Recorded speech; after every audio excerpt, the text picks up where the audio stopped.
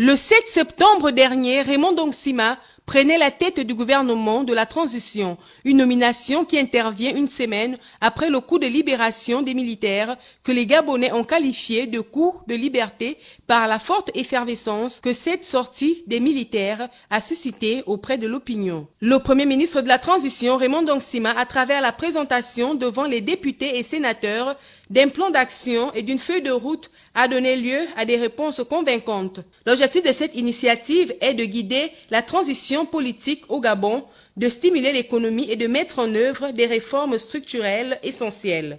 Sans solliciter un vote de confiance, le chef de gouvernement de la transition a plutôt appelé à une collaboration collective entre le Parlement et le gouvernement. C'est dire que Raymond Dongsima crée par cette méthode un climat de confiance entre l'ensemble des couches sociales de notre pays, raison pour laquelle le dialogue à venir tient compte des contributions de l'ensemble des Gabonais, aussi bien ceux qui vivent dans les grandes métropoles et ceux qui sont établis dans les villages. Celui-ci prévoit l'approbation d'une nouvelle constitution par le biais d'un référendum à la fin de l'année 2024. Au cours de sa déclaration hier devant les parlementaires, il a exposé en profondeur les réformes et les projets envisagés par son gouvernement restaurer la stabilité, la transparence et la responsabilité dans la gestion des affaires publiques, ce après une période de gouvernance approximative et erratique. À tout point de vue, c'est une démarche pédagogique